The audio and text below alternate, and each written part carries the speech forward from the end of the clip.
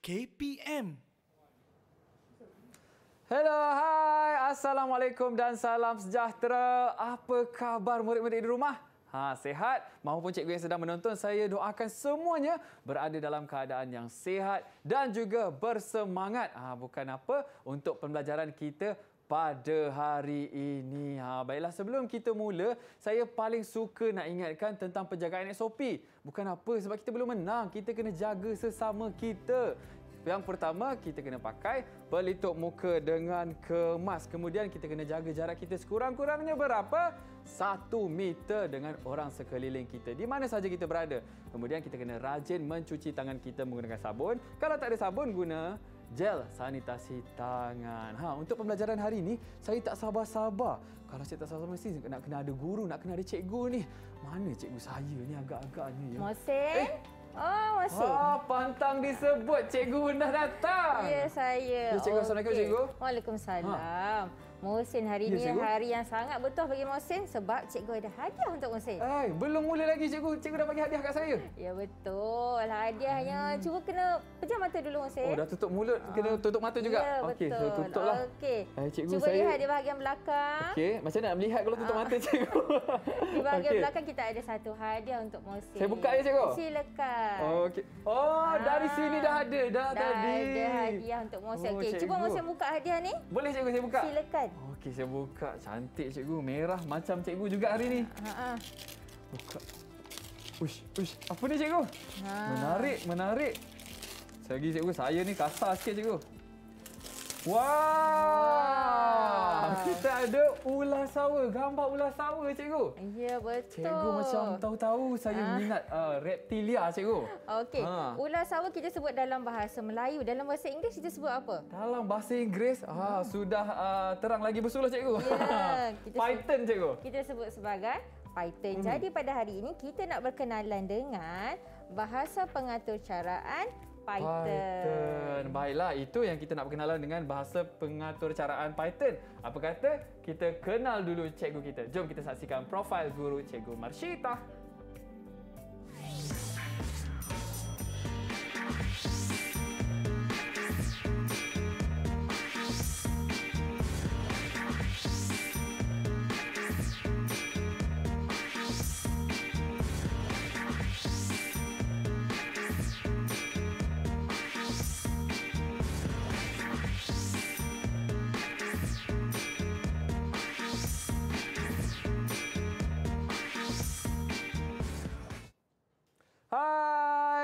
Baiklah kita bertemu lagi ha dalam slot menengah rendah. Apa khabar semua? Masih lagi bersemangat? Kekalkan semangat anda hingga ke penghujung rancangan. Baiklah, abang paling penting nak ingatkan uh, murid-murid dekat rumah tentang penjagaan SOP sebab ianya amat penting. Kita belum menang. Hashtag kita belum menang. Kita kena sama-sama lawan COVID-19 ini. Yang pertama, kena pakai pelitup muka dengan kemas.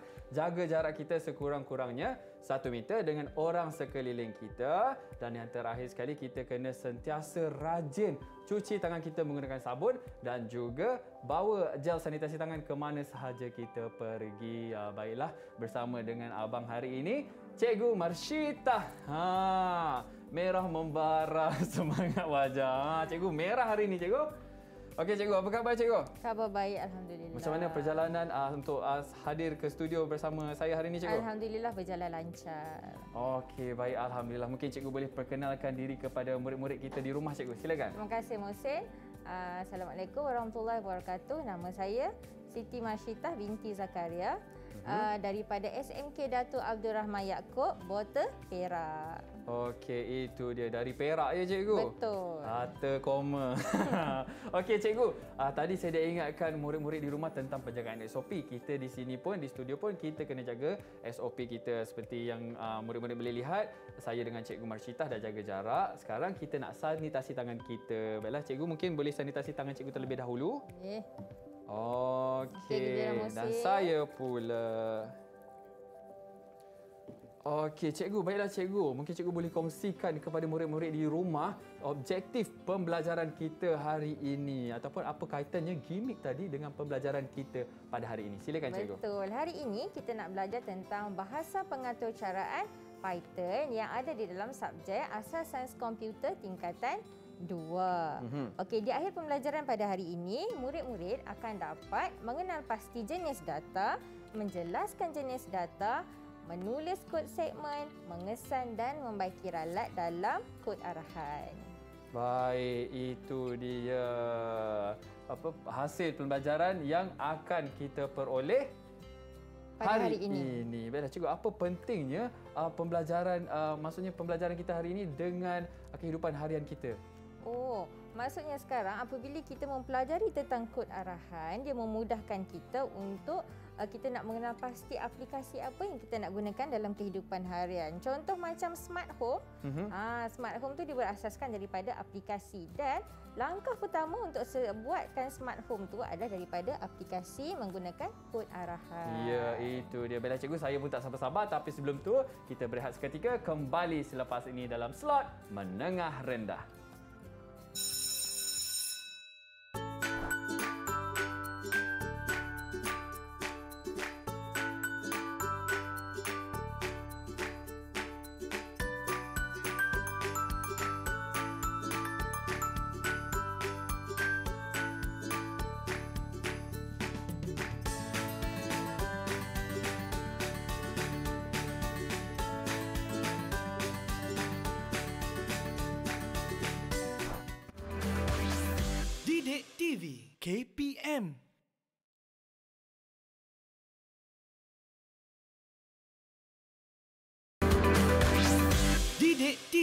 KPM. Hello, bertemu kembali kita dalam slot menengah rendah hari ini mata pelajaran Asas Sains Komputer bersama tak lain dan tak bukan Cikgu Marshita. Bila cikgu tanpa melengahkan masa, silakan cikgu pembelajaran kita untuk hari ini. Okey, baiklah murid-murid dan Mohsin. Hari ini kita akan berkenalan dengan lebih lanjut mengenai Python tetapi sebelum itu kita mesti mengetahui tentang konsep kod arahan. Mm-hmm. Okey, kita akan melihat beberapa jenis data yang terlibat di dalam kod arahan. Okey, terdapat empat jenis data di dalam kod arahan. Yang pertama ialah integer. Integer. Okey. Kod arahan yang pertama ialah integer. Integer tidak mempunyai nombor perpuluhan dan pecahan di mana integer juga mewakili nombor bulat dan nombor negatif. Hmm. Okey, bagi jenis data ini kita akan menggunakan sinteks INT. Sinteks INT adalah kod yang difahami oleh bahasa pengatur caraan. Okey, cuba kita lihat di sini. Okay. Sinteksnya adalah INT. Okey. Uh, Musin, ya, adakah saya. sifar itu nombor bulat? Uh, ya cikgu, sebab sifar juga tergolong dalam uh, jenis data integer. Betul. Ha. Okey, jadi hmm. sifar hmm. juga tergolong dalam jenis data integer. Okey, bagi hmm. jenis data yang seterusnya ialah jenis data float. Jenis data ini mewakili nombor yang mempunyai perpuluhan sama ada positif ataupun negatif. Uh, cuba Musin bagi saya tu cikgu satu contoh okay. nombor jenis data untuk float. Senang je cikgu. Jawapan saya negatif 3.6. Betul, pandai sekali. Negatif 3.6 hmm. juga merupakan data jenis float. Di mana kita boleh lihat di sini sinteksnya okay. adalah float F L O A T. Hmm, okay. Itu float cikgu. Ya betul. Jenis data yang seterusnya adalah string ataupun rentetan. Apa itu rentetan ataupun string? String ialah susunan aksara. Apa itu aksara? Aksara ialah susunan huruf, nombor dan simbol yang terdapat pada papan kekunci. Sinteks yang digunakan adalah STR. ST? STR untuk oh. string. Okey, jenis data yang terakhir ialah jenis data boolean. Jenis data boolean ini hanya mempunyai dua uh, sinteks sahaja iaitu uh, true dan false. Nilai logik diwakili oleh kosong, false dan satu untuk true. Okey, bahasa pengatur caraan ini dia menggunakan bahasa Inggeris. Jadi, output yang akan dikeluarkan adalah true ataupun false. Okey dan bahasa pengaturcaraan ini dia menggunakan um, jenis ungkapan perbandingan lebih besar sama dengan ataupun kurang daripada. Mhm. Okey. Jadi adakah cikgu. Mohsin dah tak sabar Hmm. kita nak tulis kod arahan Bukan selepas saya ni? seorang, saya pastinya Ha. murid-murid dekat rumah pun tak sabar-sabar juga cikgu nak tulis kod arahan ni cikgu. Ah, okey. So kita mudah saja kita nak menulis kod arahan. So Mhm. kita lihat di sini. Ini ialah um, interface ataupun antarmuka bagi uh, penulisan kod arahan Python. Penulisan kod arahan Python ini kita akan menggunakan aplikasi Tony. Aplikasi apa cikgu? Aplikasi Tony. Tony. Ah, okey. So kita nak tunjukkan uh, satu jenis uh, kod arahan. Okey.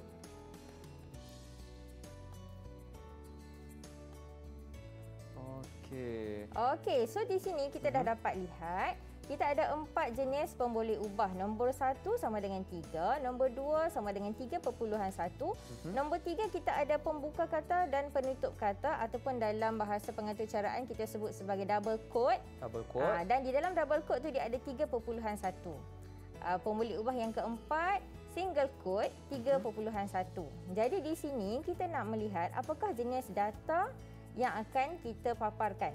Okey, so kita uji dengan menekan button run di sini. Cikgu Okey. mungkin cikgu boleh tunjukkan skrin laptop dekat uh, adik-adik kita di rumah boleh cikgu pusingkan Boleh, tak ada sedikit. masalah. Hmm. Adik-adik rumah mesti nak tahu kan apa macam mana nak tulis kod arahan ni. Okey, kod arahan di sini adalah apabila di sini kita meletakkan print type sama dengan nombor satu. So bila nombor satu Okey. kita uji dan kita run, kita tekan button run dia akan menjadi kelasnya sama dengan int. Mhm. Maksudnya integer. Bagi nombor pemboleh ubah nombor satu memegang nilai tiga dan tiga itu adalah jenis data untuk integer. Okey, baik cikgu sebelum kita teruskan lebih lanjut, kita nak bagi murid-murid di rumah betul-betul bersedia. Kita berehat dahulu dan kembali selepas ini dalam slot menengah rendah.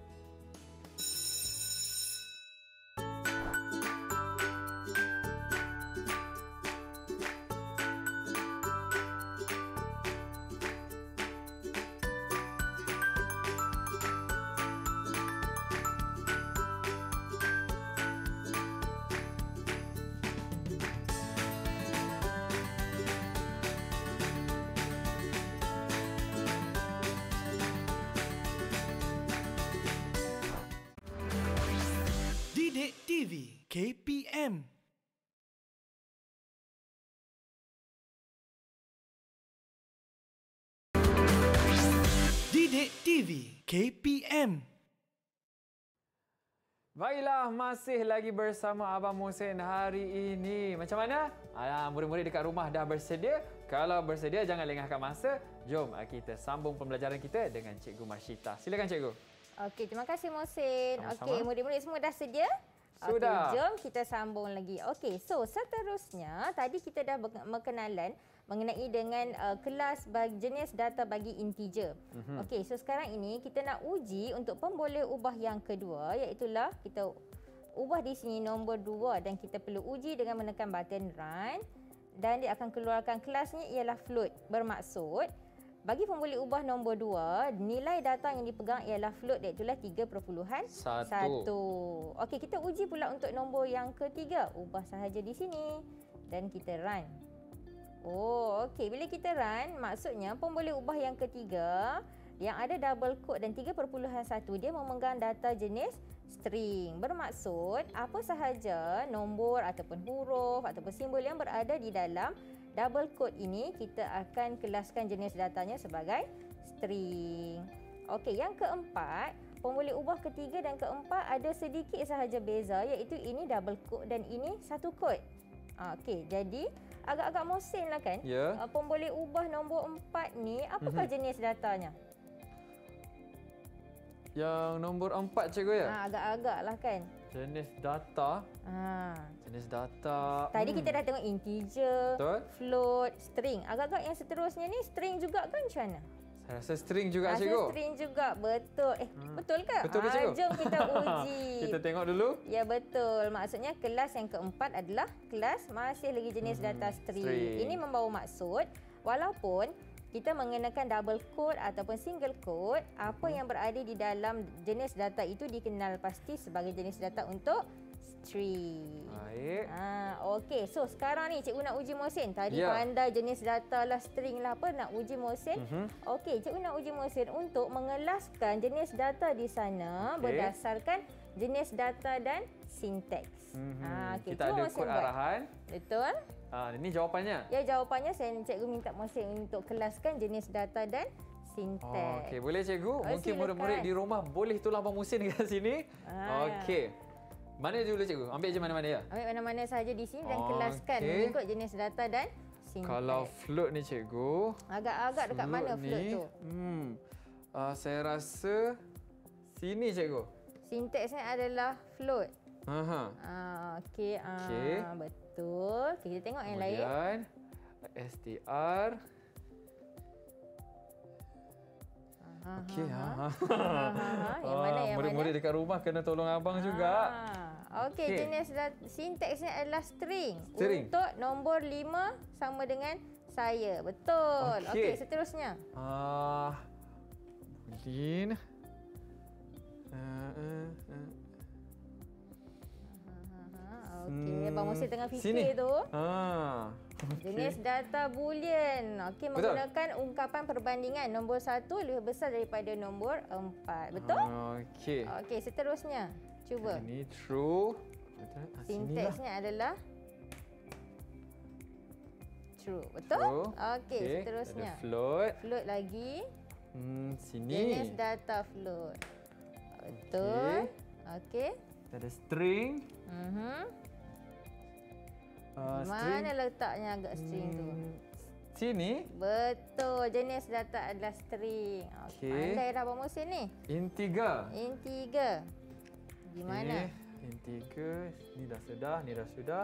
Uh, sini. Integer. Okey. Betul. Hosh. Betul semua ni. Macam mana ni? Okey. Ada uh, murid-murid dekat rumah tolong saya cikgu. Okey, Okey. ada telepati dengan murid-murid ya. ni. Okey, silakan. Ya, ada Cikgu naikkan sikit. sini. Okey, ada lagi sikit je. Okey.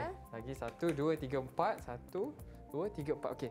Okey. Ah, Okey. Hmm. Okey. Okey, Sini. sinteksnya INT. Ha, Okey. betul.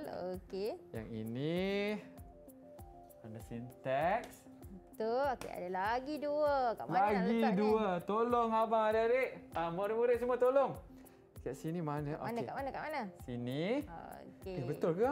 Ah, oh, betul kot. Betul. Betul, betul, betul. Okey. Betul, betul. Okey. Dan terakhir, ah, takkan nak cari cikgu kan? Ya. Sini je kosong. Betul. Inilah dia. Okey. Okey. Yes. Tahniah. Ha. Nampak? Abang Musin betul semua jawapan. Ah, terima kasih eh, murid-murid kat rumah. Ah, nampak ada orang yang bantu. Okey, Okey. Mohsin, cikgu nak tanya sebab apa Mohsin cakap negatif Hmm. 5.3 tu adalah jenis data float?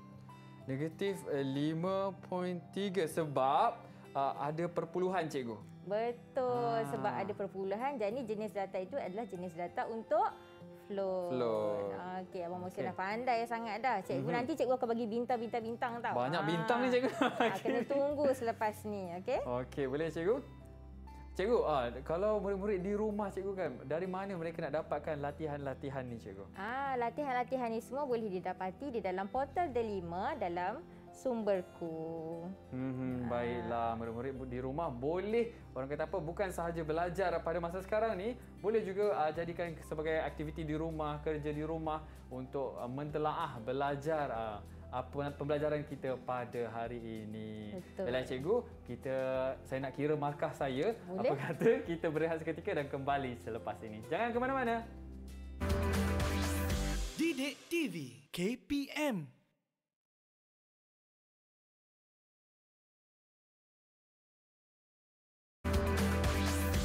Didik TV KPM Hai, ha bertemu masih lagi dengan Abang Musin. Ah, murid-murid di rumah macam mana? Masih lagi bersemangat?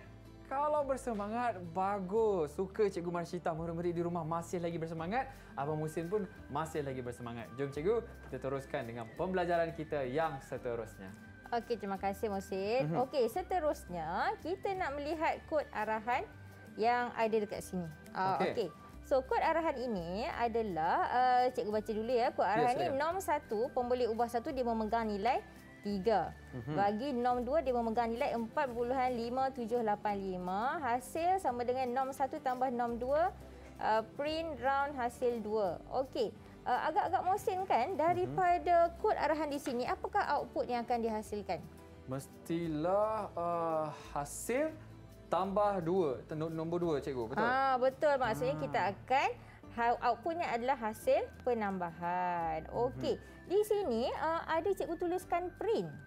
Ah agak-agak mosen apa maksud uh, print tersebut? Kalau print cikgu maksudnya cetak kan? Ah Jadi maksud- mestilah fungsi dia untuk mencetak hasil. Ah betul mosen dah pandai. So sekarang ni print bermaksudnya uh-huh. adalah kita nak memaparkan output. Okey, output daripada kod arahan yang ter- berlaku kita akan letakkan arahan untuk print untuk memaparkan output. Okey, di Okey. sini ada juga cikgu letakkan round.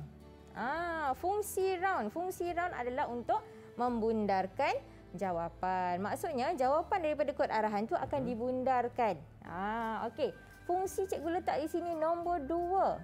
Apa fungsi nombor dua? Nombor dua ialah cikgu akan membundarkan kepada dua tempat perpuluhan sahaja.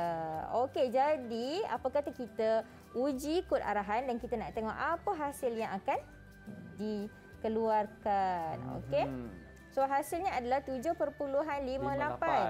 Oh, maksudnya di sini apabila ada penambahan dan cikgu telah masukkan round bundarkan hasil kepada dua tempat perpuluhan. Jadi dia hanya akan keluarkan jawapan 7.58. Ah itulah Itu dia. maksudnya kegunaan print dan juga round. Round. Bundarkan round. Bundarkan. Betul. Okey, so sekarang ini uh, cikgu nak uji Mohsin lagi. Okey. Sebab tadi Mohsin dah dapat banyak bintang, saya nak uji dapat banyak bintang lagi ke tidak? Boleh cikgu, boleh. Saya Okey. bersedia. So di sebelah Mohsin sana Mhm. kita Sini? ada Ya betul di sebelah situ kita Okey. ada empat baris kod arahan. Okey. So cikgu nak Mohsin cuba susun kod Aha. arahan itu agar dia menjadi kod arahan yang betul. Oh, okey, saya cuba ya cikgu. Silakan. Okey, uh, murid-murid di rumah. okey. Yang pertama uh, okey. Ini adalah yang pertama. Kita turunkan. Betul cikgu? Ha uh, cikgu. Ha uh, cuba Apa, cikgu? dulu. Saya cuba, cuba dulu, ya. dulu ya. Okey. Ah, uh, 3.4 ni betul sini 3 a b c. Okey. Print. Okey. Okay. ha murid-murid di rumah nampak. Kalau tak nampak tak apa. Ha nampak. alihkan supaya murid-murid di rumah nampak. Ha okey. So okay. bila cikgu tengok ada empat di situ. Okey uh-huh. macam mana kita nak tahu kod arahan yang kita buat tu betul ke salah? Ah, ha, ha jadi nak tahu betul atau salah, mari kita uji di dalam aplikasi Tony. Okey, so jom kita buat. A sama dengan 4.2.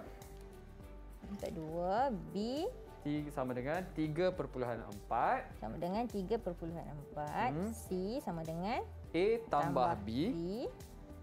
sama dengan A tambah B Hmm. dan printnya Print kurungan, buka Kurungan kurungan C tutup C. kurungan. Okey, cikgu dah type di sini dan kita uji apa Okey. hasilnya. Sebelum uji kita kena save dulu. So kita savekan sebagai test. Mhm. Okey, save dulu. Okey, jawapannya 7.6. Enam. Jadi uh, betul lah kod arahan yang telah disusun oleh Mohsin di sini. Pandai, tahniah. Tahniah. Tahniah saya pula tahniah diri saya. Okey, terima kasih cikgu. Okey, nampak kan? So, Abang Mohsin pun dah pandai susun. Sekarang adik-adik dan murid-murid rumah pun mesti lagi pandai kan? Betul? Uh, Okey, so kita tengok pula kod Mhm. arahan yang seterusnya. Okey, kita tengok kod arahan yang seterusnya. Seterusnya. Adik-adik di rumah, ah, murid-murid di rumah teruskan bersedia. Ha, jangan orang kata apa terlepas pandang cikgu kan. Betul. Kalau tak rugi. Okey, kod arahan yang Mhm. seterusnya adalah A sama dengan saya, B suka, C belajar dan kita akan print A, B dan C. Ha, Okey. A, koma B, koma C. C. Jadi agak-agak apa hasilnya di sini? Okey, mari kita uji dulu. Mhm.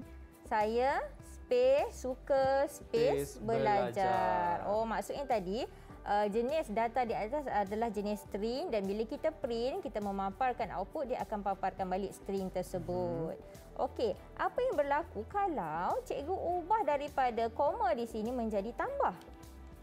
Ah, Menjadi tambah cikgu ya. Ha. Adakah dia akan tambah tambah tambah? Ah, okey, jom kita uji dulu. Tekankan button run. Oh, saya suka belajar tapi Ah, tanpa ada satu. ruang ataupun ada space. Hmm, betul. Ah, maksud di sini apabila tadi cikgu print di atas sini A, B, C, C. dia akan memaparkan output dengan adanya satu space. Jarak. Ah, jarak tetapi apabila uh, cikgu letakkan A tambah B tambah C dia akan memaparkan output tanpa ada jarak. Hmm. Ah, okey itulah perbezaan apabila kita menggunakan uh, fungsi-fungsi di dalam bahasa pengatur caraan Python. Okey, so di hujung sana Ya.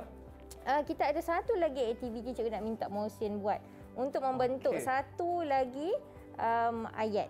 Boleh ke? Satu lagi ayat. Ya, daripada ada kod arahan didik, tersebut. KPM, TV, didik, TV, KPM. Oi, banyak Oh, tu. banyak, banyak, cikgu, banyak. Okey, cuba cuba tengok. Okey, saya ke sini. Cikgu ke sini. Okey. Susunannya. Okey. Saya mula susun cikgu ya. Boleh silakan.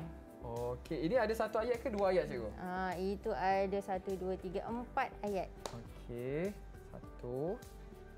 Saya susun ke bawah ya cikgu? Ya, boleh. Okey. Didik, TV, TV. Okey. Ya. Ada mungkin yang selepas kita dah letakkan kod Aha. arahan, mungkin kita perlu print. Oh, okey okey okey. Faham mungkin faham. lah cikgu rasakan. A1, Mhm. 2B, 3C dan mungkin kita akan print. Oh, okey. Betul cikgu? Ah, nampaknya Ah, macam ah, kurang ah. di situ. Okey, di yang tiga ni kita reserve dulu. Okey, Okey. satu A, dua B. Okey. Ah, Okey, seterusnya kita mungkin kena print. Oh, print. Yes. Okey, satu A. Okey okey Ah, okey. Okey, okey, okey. Okey, so uh, yang tiga bawah ni Okey. kita abaikan dulu. Okey, saya letak tepi dahulu ya, Ah, cikgu. Ya, betul kita ada satu, Okey. dua, tiga dan empat. Okey, agak-agak Mohsen betul tak ni? Hmm, okey, satu. Kalau mengikut uh, ayat ni saya, saya rasa betul cikgu. Ah, okey kalau macam tu murid-murid di rumah pun nak tahu jom Mhm. kita semak menggunakan aplikasi Tony di sini. Kita masukkan dalam Ya, betul. Okey. Jom kita cuba dulu. So kita buat satu. A, di didik, didik, 2B, TV, uh-huh. dua B. Mhm. sama dengan TV, tiga C. KPM, sama dengan KPM mhm. uh, dan di bawahnya kita akan print A1, A1, A1, 2B. oh koma, 2B, Okey. Kita ada A1, koma, 2B dan C3. C3. Okey, uh, jom kita uji dulu. Betul ke Tekan tak button betul? run. Okey. Kita mesti save dulu. Mhm. Alamak, dah ada. Kena tukar. Betul, tak ada masalah. Okey. Oh, oh. Eh, Ha. kenapa tak sama cikgu atas dengan bawah? Kenapa apa, ada tulisan warna merah? Ah, dia ada Ah. tulisan warna merah. Maksudnya dia macam ada ralat lah dalam kod arahan yang Musin susun tadi tu. Alamak. Ah, okey, cuba, cuba kita tengok balik dekat sini. Mhm. Agak-agak apa yang salah dekat bahagian sini ni? Kalau bahagian ini mungkin Mhm. uh, sebab jarak tu bukan betul cikgu. Mungkin dia sebab uh, pemboleh ubah yang kita gunakan tu berbeza. Ha, cikgu rasa macam ni. Maksudnya, okey. pemboleh ubah yang kita gunakan di sini, dia mestilah bermula dengan huruf. Tak boleh bermula Ah, dengan nombor. nombor. Ha, dan dekat bawah ni pun, kita gunakan A1. Tetapi di sini mana ada pemboleh ubah betul. A1? Ada satu A. Ah, maksudnya di sini dia akan berlaku Uh, maksudnya kesalahan lah sebab kita tak menggunakan pemboleh ubah yang betul. Hmm, jadi dia tak Ah, dapat baca lah cikgu. Betul. So, kita nak betulkan sekarang. Boleh? Okey. Boleh cikgu silakan. Okey, so kita betulkan. Boleh Hmm. betulkan kat sini pun boleh. Kita ubah kepada A1. A1, B2, Okey. C3. C3. Okey, cuba kita run balik. Wah. Didik TV. Didik TV KPM. Ah, kan maksudnya dia dah mengeluarkan output yang sepatutnya dah tidak ada Mhm. ralat. Betul lah cikgu. Hmm, betul Ah, lah. Okey. Okey. Teruskan cikgu. Okey. So seterusnya kita tengok pula kod arahan Mhm. yang seterusnya. Kod arahan. Okey. Ah, alright. Sekejap ya. Kena clear dulu. Okey. Murid-murid di rumah, Ah. teruskan orang kata apa fokus tentang pembelajaran kita pada hari ini sebab melibatkan kod. Ah, Okey. betul. Okey, di sini cikgu Mhm. letakkan A sama dengan 18, A sama B dengan 18, sama dengan 20, B print, tadi kita Okey. dah belajar print adalah kita nak memaparkan output Mhm. iaitu A lebih besar daripada B. Um, A adalah 18, B adalah 20. Agak-agak mosen. Apa jawapannya? Jawapan dia mestilah false cikgu. Ah. Mestilah salah. Ah, saya false ataupun salah. Betul. Eh, betul ke tidak? Ah, jom kita Apa kata uji. kita tengok dulu jawapannya cikgu. Betul kita uji dulu tekan button run. Betul. Betul. Dia Jawapannya false. adalah salah. Salah. Sebab apa? Dekat sini bahasa pengaturcaraan Python dia memahami bahasa Inggeris. Mhm. Ah, jadi dia tak tulislah betul ataupun salah. Ah, dia Faham. akan tulis true ataupun false. Maksudnya di sini A iaitu memegang nilai 18 Mhm. lebih besar daripada B iaitu 20. Mestilah salah. 18 Betul. lebih besar daripada 20. Salah. Okey, jadi dia akan memaparkan output false di situ. Okey. Cikgu Masyita, Ya, tadi saya. cikgu ada sebut tentang QR code. Ha, Hmm. tentang latihan. Ha, mungkin cikgu nak bagi tahu murid-murid kita di rumah. Ah, okey murid-murid di rumah jangan tengok saja tadi tapi cik Mhm. murid-murid di rumah rasa nak cuba kan. Okey, jadi boleh dapatkan latihan pada kod QR yang tertera. Okey, ah, murid-murid juga boleh lakukan tugasan dan jika tak faham boleh bertanya pada guru di sekolah. Hmm, yang penting boleh dapatkan bahan pembelajaran di Portal Delima Sumberku. sumberku, sumber kita semua. Ha, guna sumberku dengan sebaik mungkin supaya ia dapat dimanfaatkan untuk bukan untuk siapa, untuk anda di rumah. Baik cikgu. Ya. Ha, hari ini cikgu saya rasa seronok sebab ini satu ilmu yang baru cikgu. Saya dah belajar macam-macam. Saya belajar jenis data. Kita ada empat cikgu. Betul. Inti- Empat jenis data. Ha, Ha. intiger, ada float, string dan boolean. Betul cikgu saya sebut? Boolean. Boolean. Ha, bukan boolean ya, boolean. Ya, betul. Okey, dan ada uh, orang kata apa fungsi-fungsinya yang tersendiri. Betul. Baik cikgu. Pen, uh, pentaksiran cikgu daripada Ah. uh, mula kita belajar sehinggalah ke penghujung rancangan ni cikgu. Ah, daripada awal Mhm. tadi kita tengok Mohsin dah pandai dah susun jenis data, sinteks, lepas tu jenis susun kod arahan. Oh memang sangat hebat, terbaik. Jadi hari ini cikgu nak bagi Mohsin 10 bintang. 10 bintang dan saya nak kongsikan bintang-bintang saya yang 10 tu untuk murid-murid di rumah juga cikgu kerana Betul. sedia ha semangat murid sampai benda ni jatuh cikgu.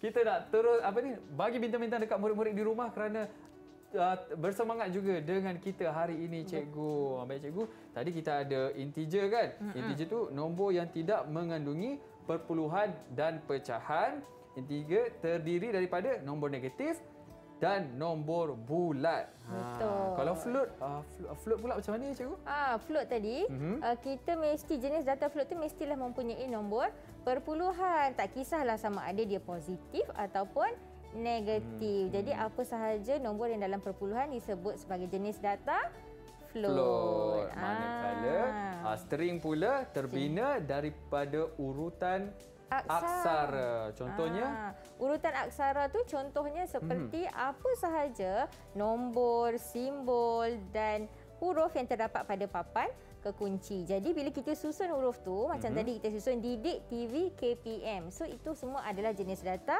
string. string. Kalau Ha. boolean pula cikgu? Ah, jenis data boolean pula adalah kita nak melihat ungkapan perbandingan sama ada lebih besar Mhm. sama dengan ataupun lebih kecil. Okey, cikgu saya nak tanya cikgu, macam kalau kita ada murid-murid yang betul-betul minat ah tentang pembelajaran kita hari ini dan ingin melanjutkan ah, ah, pembelajaran ah, mereka ke alam universiti. Ha, dalam bidang yang sama. Ha, uh, bidang macam untuk uh, kita kata Mhm. bahasa pengaturcaraan ni dia sangat luas. Apa yang kita belajar hari ini hanyalah kita sebut sebagai langkah pertama ataupun langkah asas. Mhm. Okey, tapi bila kita nak uh, semakin berkembang, semakin belajar lebih tinggi, Mhm. kita boleh hasilkan pelbagai aplikasi yang lebih hebat. Ah, macam cikgu cakap tadi kan, um, apa tu rumah pintar ataupun smart home dan dia semua tu Mhm. berasaskan daripada aplikasi yang bermula daripada kod arahan macam kita belajar hari ni. Okey, cikgu Ah. untuk latihan dan juga uh, kerja yang mungkin murid-murid di rumah boleh lakukan, di manakah mereka boleh dapatkan cikgu? Ah, dapatkan semua latihan dan bahan rujukan di dalam portal Delima Mhm. sumberku pada link yang tertera. Hmm, ingat gunakan sebaik mungkin, pastikan portal itu memberi manfaat kepada anda sebagai seorang Murid. Murid. Baiklah cikgu, terima kasih cikgu Marcita kerana sudi bersama saya selama satu jam. Banyak ilmu yang saya dapat walaupun dalam masa yang singkat. Terima kasih cikgu atas kesudian cikgu bersama dengan saya. Dan terima kasih juga kepada murid-murid di rumah yang setia menonton uh, menengah rendah hari ini. Baiklah cikgu, sehingga kita berjumpa lagi. Kita akan uh, berjumpa lagi di episod yang akan datang. Assalamualaikum dan salam sejahtera. Bye-bye.